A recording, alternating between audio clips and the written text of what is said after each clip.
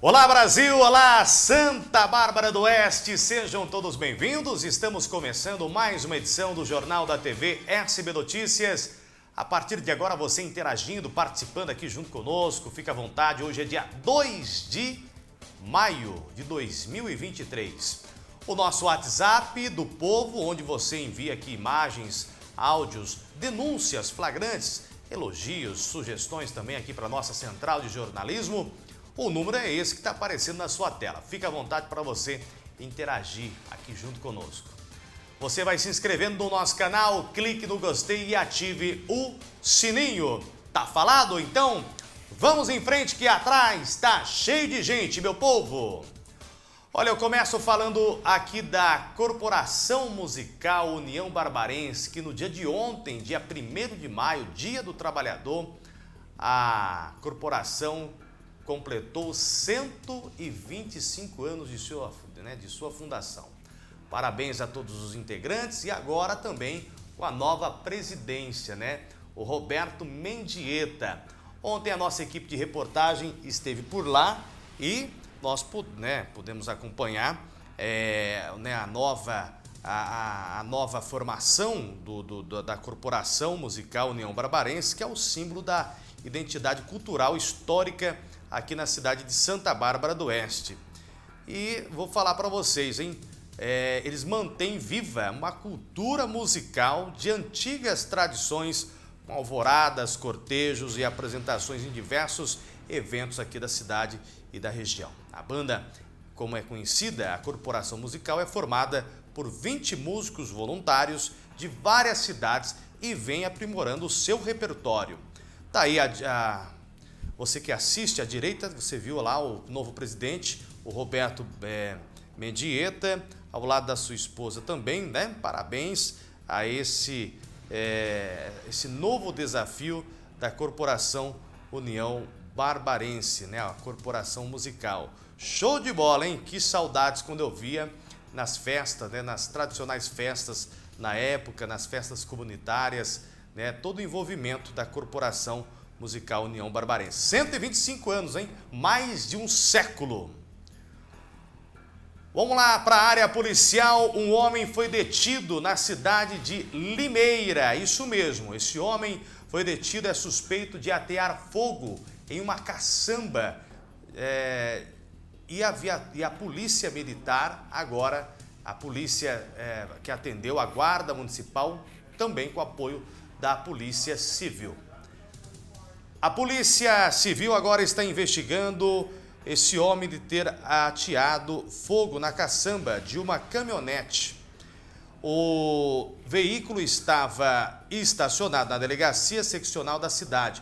Na verdade, é um veículo da, da polícia, né? Da Polícia Civil. No fim da tarde de segunda-feira, ontem, por volta das 18 horas, a equipe foi comunicada sobre o fogo no fundo de uma viatura estacionada lá na unidade. Os policiais foram até o local e viram que a caminhonete tinha um princípio de incêndio. A equipe chegou a acionar o corpo de bombeiros, mas não foi necessária a intervenção, já que os próprios policiais conseguiram apagar o fogo. De acordo com a Polícia Civil, uma lixeira próxima tinha sido revirada e a suspeita é que os materiais tinham sido usados para provocar o incêndio.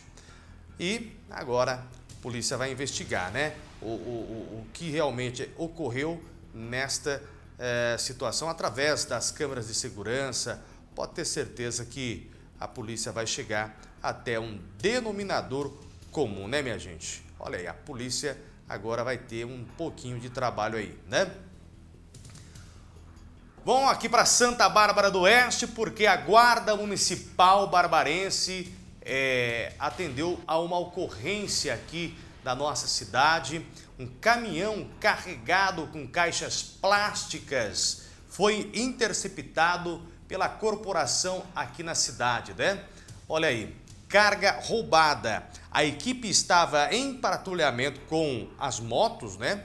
As motos da GCM e eles foram solicitados para atender uma ocorrência. Seria um caminhão carregado com caixas plásticas, possivelmente furtadas aqui na região de Campinas. Essa mesma equipe da GCM Barbarense, juntamente se deslocou até uma área rural de Piracicaba, onde o proprietário do estabelecimento dessa empresa, desse galpão que vocês estão vendo nas imagens, é, ele é, foi localizado onde também estavam lá diversas é, caixas né, plásticas, bags com material já triturado.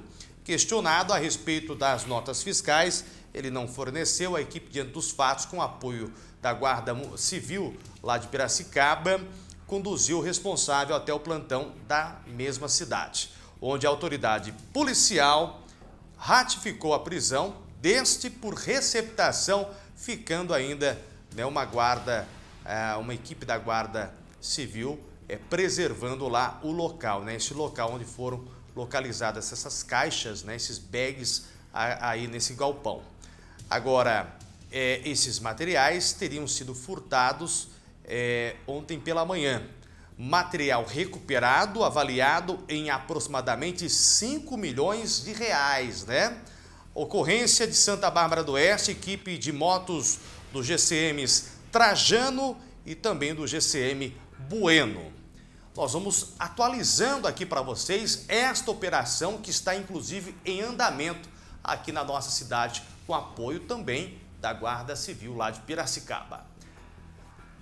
É isso aí, obrigado meu povo, obrigado minha gente. Tem informações, denúncias, pode enviar aqui mensagens né, para o nosso WhatsApp, reclamações, para o nosso mensagem também, os comentários aqui do jornal é, do, da, da TV SB Notícias. Uma boa semana para vocês, tudo de bom e até amanhã. Mexeu com você, mexeu comigo.